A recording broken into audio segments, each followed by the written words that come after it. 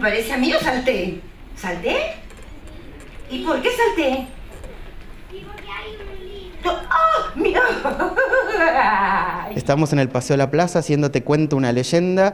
Es una bibliotecaria que es Claribel Medina, que está fantástica, que necesita encontrar libros nuevos porque sus lectores le piden y mágicamente no puedo, encuentra unos libros que no había tenido en cuenta y son historias, cuentos, leyendas de los pueblos originarios, que están a la par de cualquier caperucite, de cualquier Cenicienta Blancanieves, pero no los conocemos.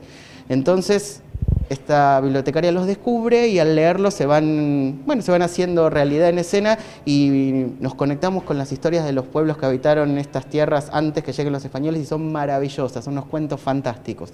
¿Qué haces con los cuentos de bigote mezclados?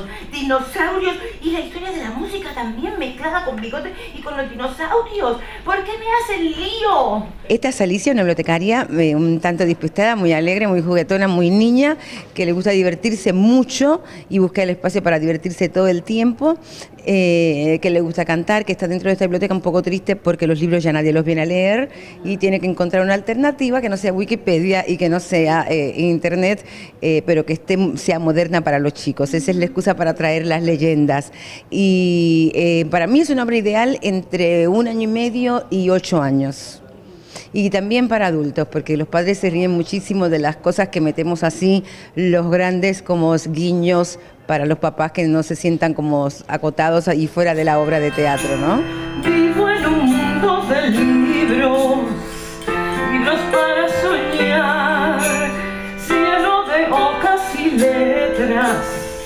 para.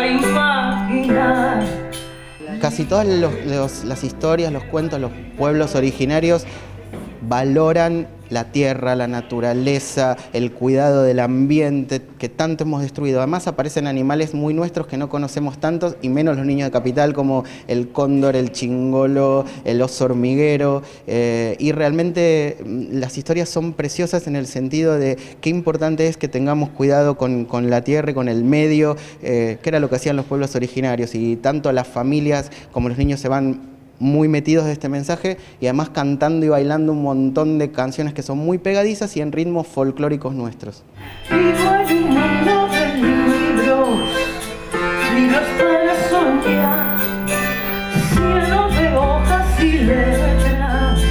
El vestuario que es de Shirley Betancourt, los actores con la interpretación de cada uno, las voces de los personajes, eh, el juego que se establece en escena entre los personajes para que le quede la palabra guaraní al chico y no le quede otra cosa, sino la guaraní hace tal cosa, que de hecho le interpreta Nora Pavón.